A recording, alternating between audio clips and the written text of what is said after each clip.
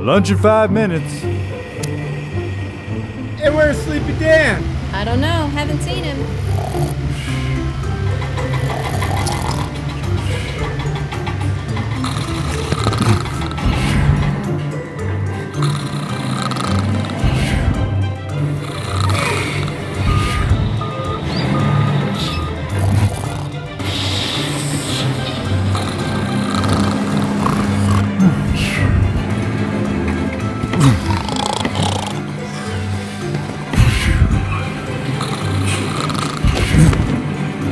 Lunchtime.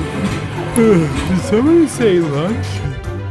Sleepy Dan. Dan.